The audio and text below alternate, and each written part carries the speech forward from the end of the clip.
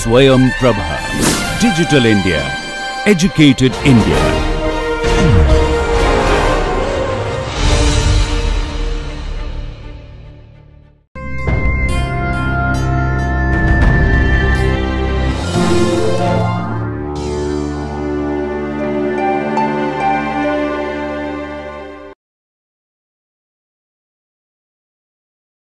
Hello, today we are going to talk about, learn about permutations. So,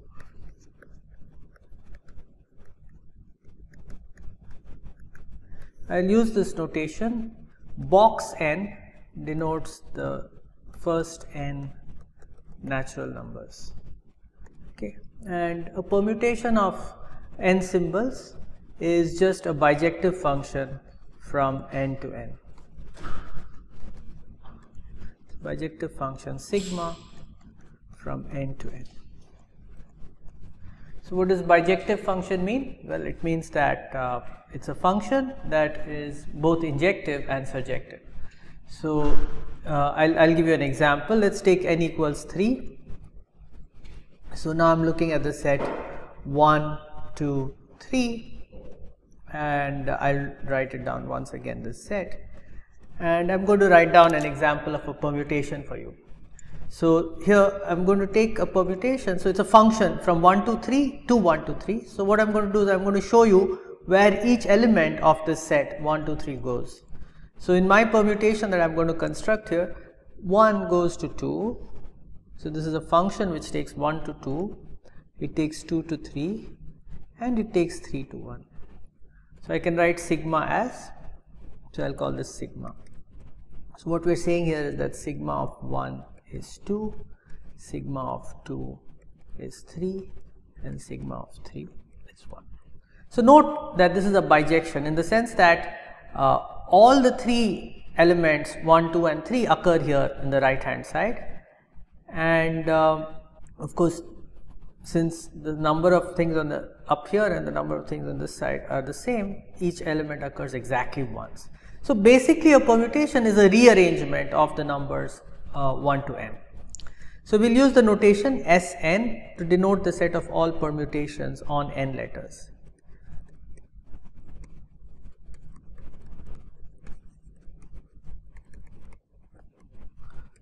I will say n letters, so these are n numbers. So, precisely this is sigma functions from box n to box n such that sigma is a bijection.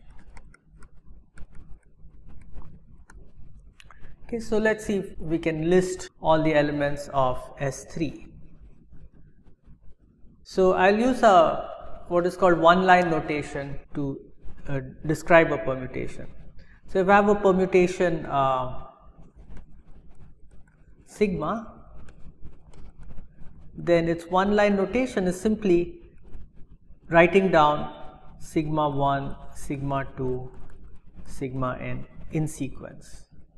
So, if you look at the permutation we had earlier, its one line notation is just sigma 1, sigma 2, sigma 3. So, I will write 2, 3, 1. This is just an efficient way of writing down permutations. So, S3 I am going to try to list all the permutations. So, in one line notation so, the simplest permutation is where uh, is the identity function. So, 1 goes to 1, 2 goes to 2 and 3 goes to 3. So, in one line notation that becomes 1, 2, 3. So, what you are seeing in this one line notation is that basically you are taking the elements 1 to n and you are somehow rearranging them and writing them again. So, it is a reordering. So, basically what we are going to do is we are going to write down reordering of uh, the numbers 1, 2, 3. So, what else can I do? I can take 1 to 1, I can take 2 to 3 and 3 to 2. Uh, okay, so this exhausts the possibilities where I am taking 1 to 1. If I am taking 1 to 2, then what can I do? I can take 2 to 1 and 3 to 3 or I can take uh, 2 to 3 and then 3 to 1 or I can take uh, 1 to 3 in which case I can take uh, 2 to 1 and 3 to 2 or 3 to 1. So, these are the 6 permutations on n letters. You can ask okay, so how many permutations are there in Sn. So what is the size of the set Sn? And this is uh, not very difficult to figure out. So what, so I have to figure out uh, to write down a permutation, how many choices do I have? And so firstly, uh, how many choices do I have for sigma 1? So for sigma 1, well it can go to any of the numbers 1 to n. So sigma 1 has n choices. Okay. Now having made that choice for sigma 1, how many choices do I have for sigma 2? Well, I've already used up n, so I can't use it again. Uh, sorry, I've already used up the number sigma 1, so I can't use it as a value for sigma 2. So except for that, I can use anything else. So I have n minus 1 choices for sigma 2. Now having chosen sigma 1 and sigma 2, what remains are n minus 2 choices for sigma 3 and so it goes all the way. In the end having chosen uh, sigma 1, sigma 2 dot dot dot up to sigma n minus 1 there will be only one element from the set 1 to n which has not been used and that is going to be sigma n. So, that is 1 and this so this is just n factorial.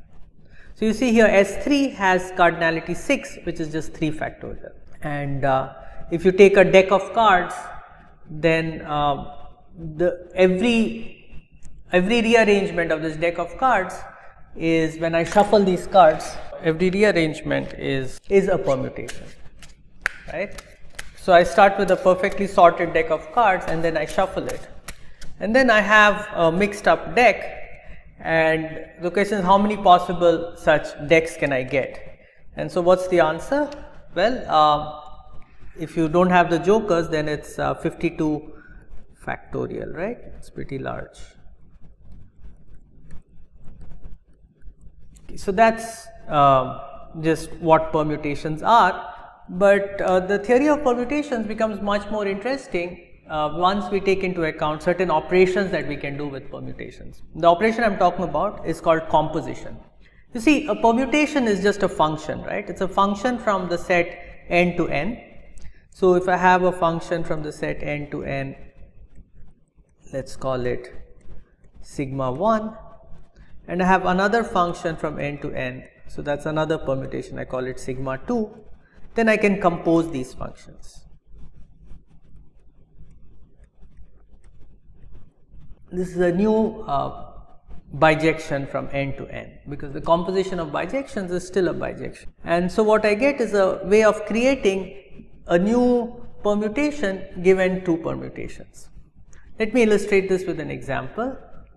So, let us take uh, sigma 1 to be our favorite permutation um,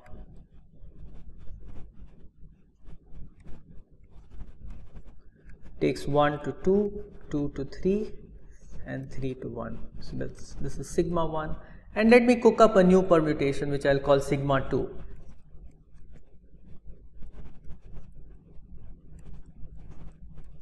So, this one just takes 1 to 2, 2 to 1 and 3 to 3 itself. And now, how do I compute uh, sigma 2 composed with sigma 1? So, So, I have to figure out where each of the numbers 1, 2 and 3 goes. So, let us see. So, so sigma 2 circle sigma 1 of 1 is sigma 2 of sigma 1 of 1. What is sigma 1 of 1? Well, sigma 1 of 1 is just 2. And what is sigma 2 of um, 2? Well, sigma 2 of 2 is 1. Similarly, sigma 2 sigma 1 of 2 is well. So, sigma 2 of 2 goes to 3 under sigma 1. So, it's sigma 2 of 3 which is still just 3 and sigma 2 circle sigma 1 of 3. So, 3 goes to uh, 1 and 1 goes to 2. So, you see this is 1 3 2. Uh, another way of thinking about this is just under sigma 1 1 goes to 2 and um, let's see. So, 1 goes to 2 and then 2 goes to 1. So, I can just follow through this arrow and that is telling me that under sigma 2 circle sigma 1, 1 goes to 1. And uh, where does 2 go again I'll start with 2 and then I'll follow through the arrow so 2 goes to 3 and 3 goes to 1 so 2 goes to 3 and then this 3 I'll follow through this arrow here. 3 goes to 1 and then 1 goes to 2 so so you can compose permutations by simply following through the arrows. Let's try another example. This time we'll take uh, three permutations. So let's just um, add here another permutation okay let's add a third permutation to this mix so I'm going to add uh, sigma 3 and I'll cook up another permutation here. And this is the permutation which takes uh, 1 to 1, 2 to 3 and 3 to 2. So now I want to know so I can I can do this composition. Um, so I want to compute basically sigma 3 circle sigma 2 circle sigma 1. So this you can think about this in two ways. When you think about composition of functions, you can either think of it as composing um, sigma 1 and sigma 2. So that's what we just computed and then we compose it with sigma 3. So I'll write down sigma 3 here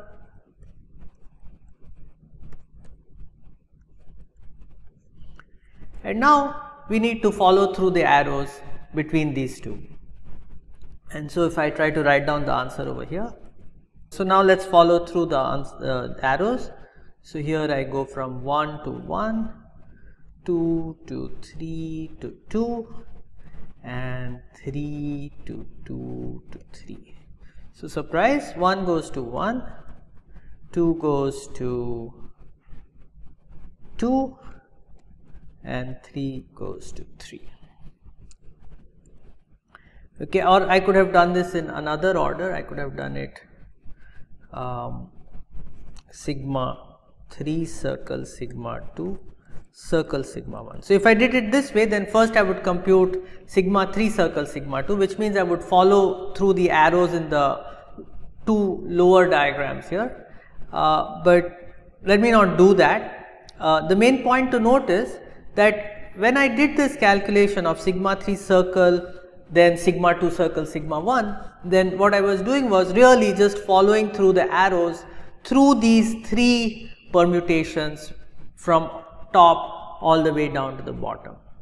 So, so if I start here I can take 1 and I'll follow it down 1 goes down to 2, 2 goes down to 1 and then that goes down to 1. So, 1 goes to 1 2 goes to 3, 3 goes to 3 and then 3 goes to 2. So 2 goes to 2 and then 3 goes to 1 and then 1 goes to 2 and then 2 goes to 3. So 3 goes to 3.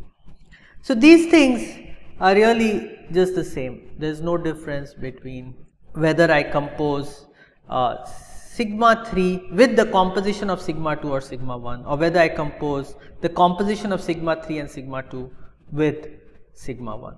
So, this is this is called associativity. So,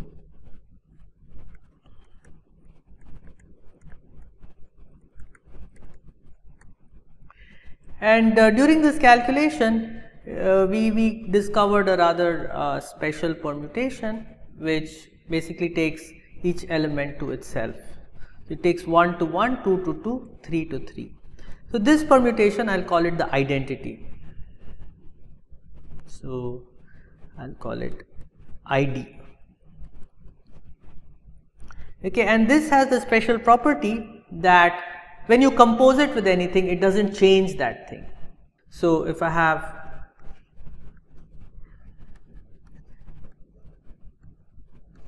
So, if I have any permutation and I compose it with this identity, for example, my favorite permutation sigma 1. Now, if I compose it with the identity, the second time when I am following through the arrows, it's as if nothing happened, right. So, um, so sigma 1 identity composed with sigma 1 is sigma 1. And also if I do it in the other way, right, first I do the identity and then I compose it with some permutation.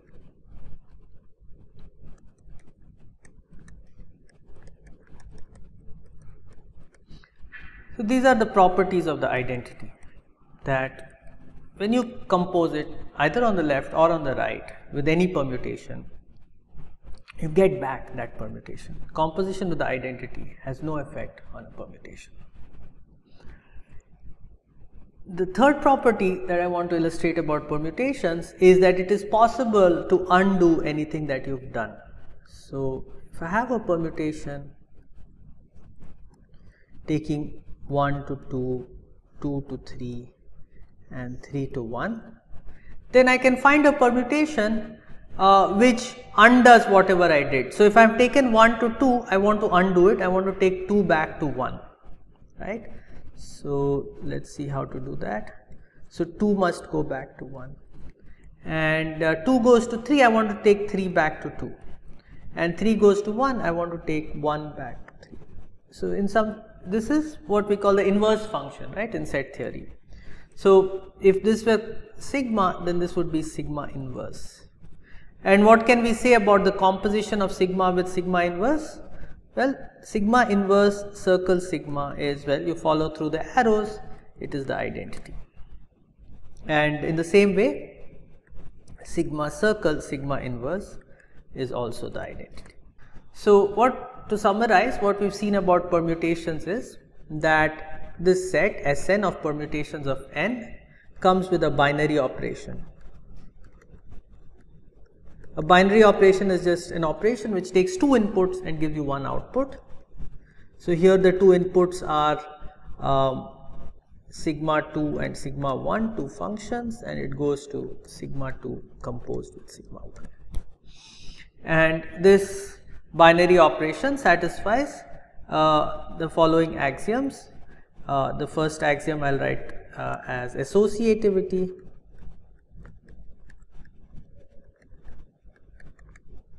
which says that for any three permutations sigma 1, sigma 2 and sigma 3 we have this sigma 3 circle sigma 2 circle sigma 1 is sigma 3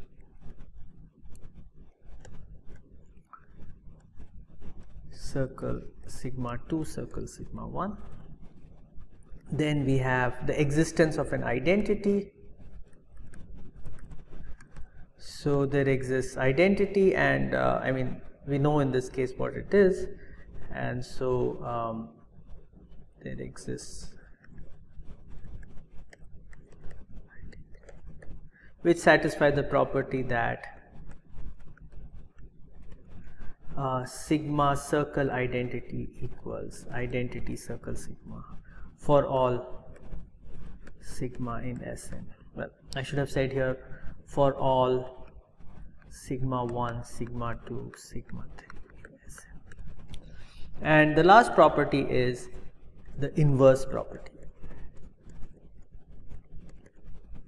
That is for every sigma in Sn, there exists an element sigma inverse in Sn such that sigma circle sigma inverse equals sigma inverse circle sigma and both of them are equal to the identity. So, these, uh, these properties of permutations taken together abstractly give the definition of an abstract group which we will talk about next time. Thank you.